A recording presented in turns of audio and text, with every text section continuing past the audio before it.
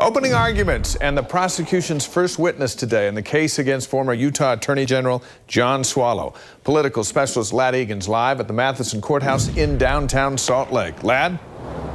Dave, the day started with about three hours of opening testimony that the jury listened to. The defense says that this case is politically motivated with twisted evidence. Meantime, the prosecution argues that John Swallow was part of a triangle of power, corruption, and greed. There are a lot of people involved, of course, because this thing went on for many, many years. And if I lose you, don't be discouraged. And make this government prove everything that you just heard from Ms. Collins' mouth and prove it beyond a reasonable doubt. It's not going to happen. It is just not going to happen. So Swallow faces 12 felonies, including bribery, accepting gifts, and money laundering. The defense showed the jury a timeline to help them understand when Swallow was a private citizen and when he was in public office. This afternoon was dominated with a lengthy testimony of a key prosecution witness, Marc Jenson, who detailed meeting Swallow for the first time.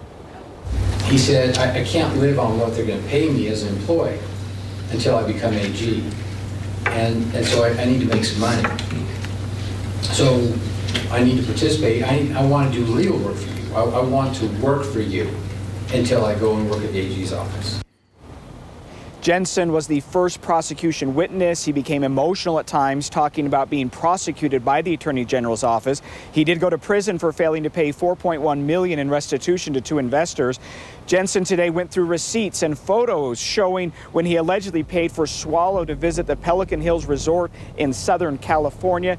That list of receipts showed dinners for $600, golf outings totaling in the thousands of dollars.